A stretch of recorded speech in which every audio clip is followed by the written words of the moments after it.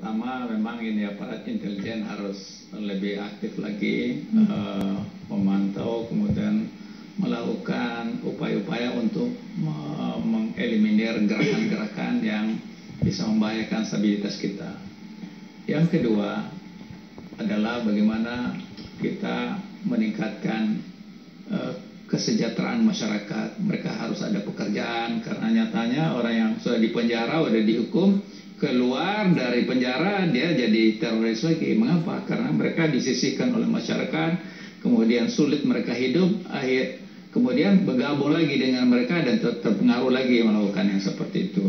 Yang ketiga, bagaimana masyarakat berpartisipasi waspada terhadap lingkungan masing-masing. Jumlah polisi juga tentara terbatas, jadi kalau partisipasi masyarakat tidak maksimal untuk menjaga keamanan lingkungan masing-masing, itu juga terbuka berbagai kemungkinan terjadinya kejahatan, termasuk terorisme di lingkungan. Baik. Jadi, jadi Baik. saya kira ini partisipasi masyarakat dan aparat bekerja sama dan pendekatan prosperity, kesejahteraan Baik. itu perlu dilakukan untuk mengurangi atau setidak-tidaknya mengurangi secara Baik. maksimal kejahatan terorisme itu. Ya, sekaligus closing statement silakan Pak Saifullah.